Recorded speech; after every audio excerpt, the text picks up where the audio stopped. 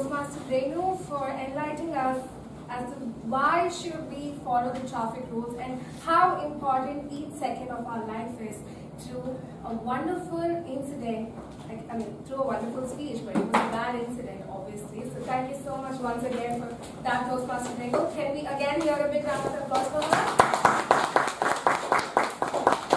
So next speaker onto the stage is uh, DTM Sampath Sarvarajan sir, and uh, he is unique in his own way. That's all I can say, you know, because I've observed him from right, you know, when I came here from day one. So he say he loves company and he loves laughing and he loves making people laugh. Well, I can see that because of the messages and all that he sends in our WhatsApp group and you know makes our days really nice. And next he says that he has no reason to avoid the crowd because the crowd can do what it wants, but he does what he likes. And he also says that often what he does turns out to be unique in its own way. And next, he says that it's not important to be different, but it is essential to be yourself. And sometimes you may be different, but even uniqueness does not mean trying to be different. So before we call DTM Sampath Rajan sir onto the stage, I would like to request his evaluator, Professor Thomas Abraham sir, to read out the objectives. Uh, thank you, Srimati. This afternoon, DTM Sauri Rajan, who is sprinting through, sprinting through his current uh, path for effective coaching, is going to do a project which is called Connect with Storytelling. The name of his talk, uh, the speech is the Sword of Damocles, and the time you have is five to seven minutes. All the best, brothers. So ladies and gentlemen, please put your hands together for DTM Sampath sir. DTM Sampath sir, Sword of Damocles, Sword DTM Sampath. My dear friends, let me break the suspense of the title straight away with this printout of a painting. This is Damocles acting as the king for one day, and this is a sword hanging. This is the myth on which I have based the title. As per the legend of Damocles, he wanted to be the king and he had an opportunity to be the monarch for one day. But there was a sword hanging above him, just hanging by a thin single horse hair. He was terrified. He said, enough is enough, he quit, even before the day was over. But I was no monarch of Syracuse. I was a mere AGM in Hindalco Industries in 1998. But the sword hung above me and it fell too. Luckily, I survived. My dear Toastmasters, fellow Toastmasters and guests, good afternoon. Good afternoon. In 1997, I came back from Bahrain and joined Hindalco Industries. It is at Renukoot in Uttar Pradesh. Renukoot is a lovely hilly place, right in the midst of jungles.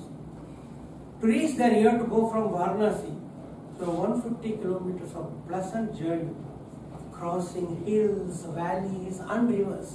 Of course, there are a lot of dhabas and hotels. When I reached Renukoot, I had a very cold reception. Bad omen.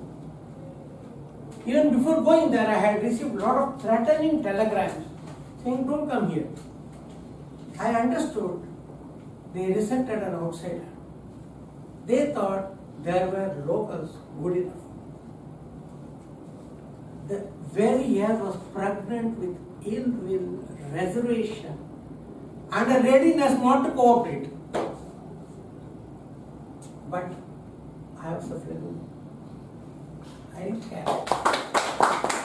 Within one year, I set things straight one by one, and I could start some real good work. Let me introduce two people who worked with me there. One is Vibhuti Bhushan Maithani, a hardy, no-nonsense person.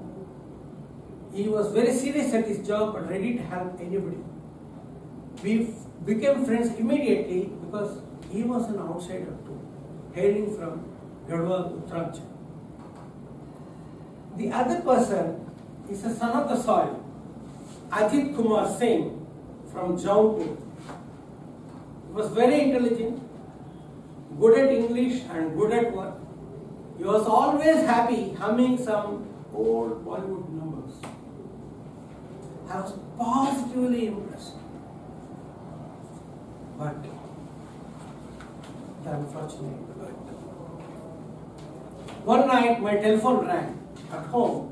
The security chief told me Ajit Kumar has assaulted a colleague in the night shift.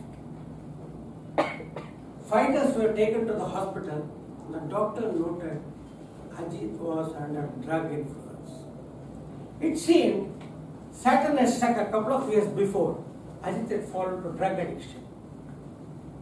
He used to be weird for a few days at a stretch from time to time, whenever he could manage to get the stuff. The next day, HR conducted an inquiry and handed him three days suspension. I had to sign and issue the paper.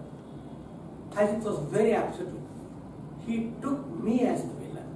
He thought I could have bailed him out. Those three days, he called me several times on the telephone at home and office, abusing me and threatening me. He came back silent and morose. Things were smoothing, but within two weeks, the assault was repeated. This time we got two weeks suspension. More threatening calls, even predicting the date of my death. By now, I stopped worrying about it, but my wife was very upset. My colleague said, Be very careful, this fellow is a bad chap. And then, one day, it happened. Something very heavy struck me straight on my back, and I got stunned totally and started collapsing. Almost dead for the next 10 seconds. My then he shook me and said, Sir, sir, how are you? How are you? He made me sit down on the by the side of the road where I was. He ran up the road. We had gone to visit an ailing Shashi Trivedi in the hospital. It was a hilly place, the hospital was at an elevation. After which we were coming down the winding slope. At that time, from above the hospital level, from behind a tree, a big masonry block, a demolition product, came down and hit me.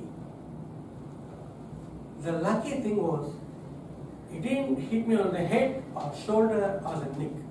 It hit me on the back on a flat way, in a tangential. If it was not for that, no speech to it.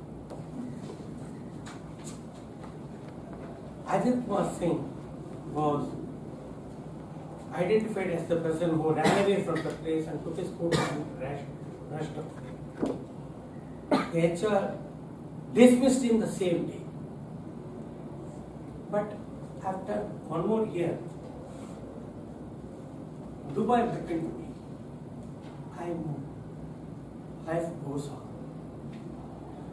My dear friends, leadership is no easy game.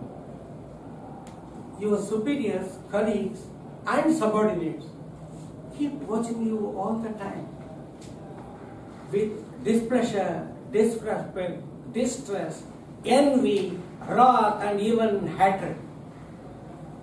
The sword of Damocles.